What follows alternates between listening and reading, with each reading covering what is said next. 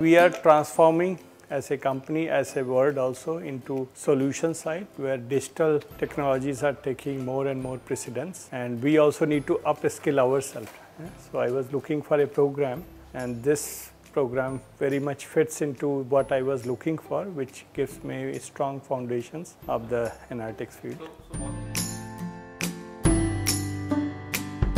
There are a lot of key learnings. So because uh, it's introducing machine learning and then artificial intelligence and then programming skills and uh, analytic skills. These are the things which are happening now to give solutions to our complex problems of our client. So it's going to improve a lot in, in, in terms of our digital delivery for giving clients solutions.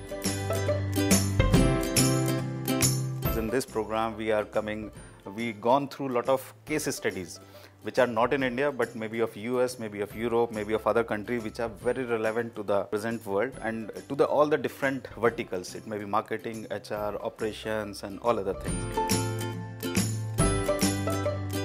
When I came in the course, I, I realized that this stream is very huge and I can move in any direction and there I got my click and I decided to okay I, I should change my job and I'll go for my uh, as per my interest. And then luckily this course is very very effective for me. Uh, in between the term only I, I changed my job. I got a good opportunity. Whatever I learn over here uh, related to that only I got the job and I've changed it now